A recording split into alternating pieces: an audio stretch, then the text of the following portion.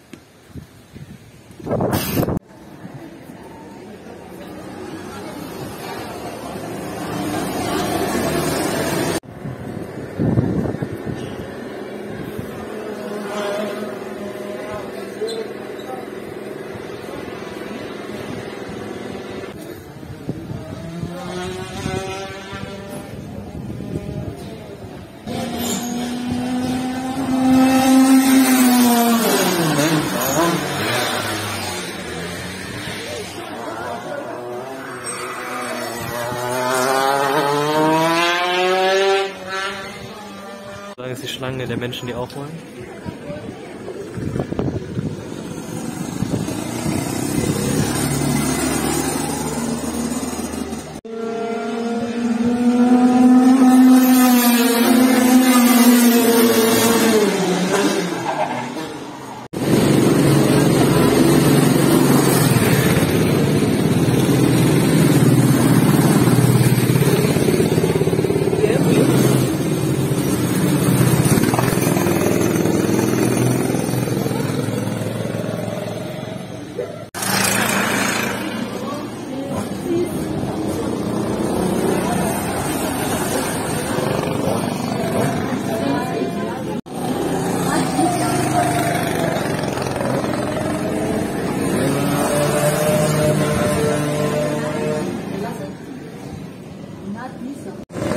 Hier gab es einen Unfall.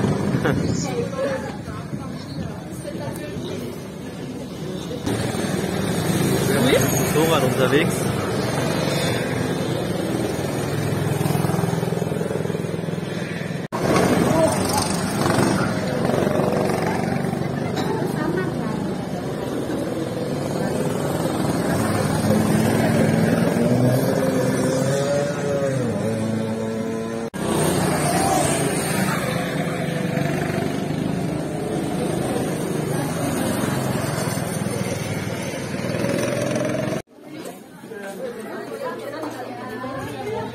So wird es angetrieben durch.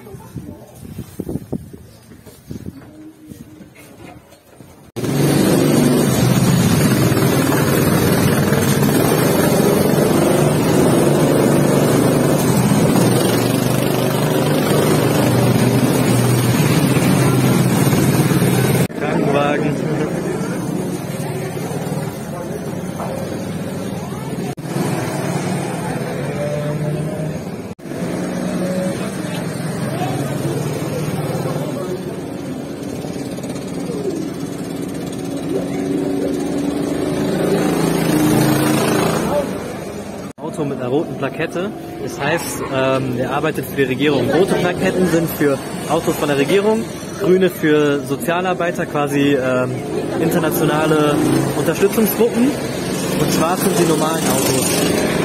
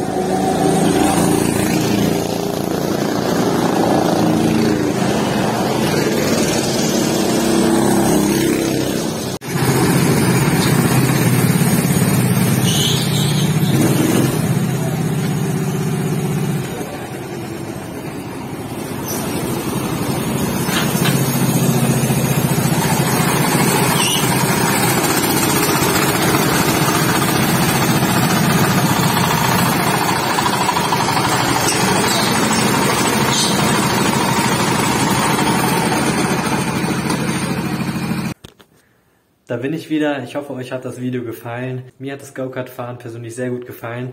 Es hat insgesamt 25.000 Ariari gekostet, was ungefähr 6 Euro sind. Also hat sich mega gelohnt für eine Session. Mich hat nur genervt, dass die Kinder sehr, sehr vorsichtig gefahren sind und ich die eigentlich immer überholen wollte. Aber dadurch, dass sie die Kurven so äh, scharf genommen haben, konnte ich, konnte ich die nicht überholen, ohne dass es dann einen Zusammenprall gab. Und das wollte ich halt vermeiden. Und dann bin ich einfach langsam hinterhergefahren und auf ein paar Strecken dann durchgebrettert. War aber trotzdem mega cool. Mal schauen, ob ich es dann noch immer wieder mache. In dem Sinne, Leute, wir hören uns im nächsten Video. Macht's gut. Ciao, ciao.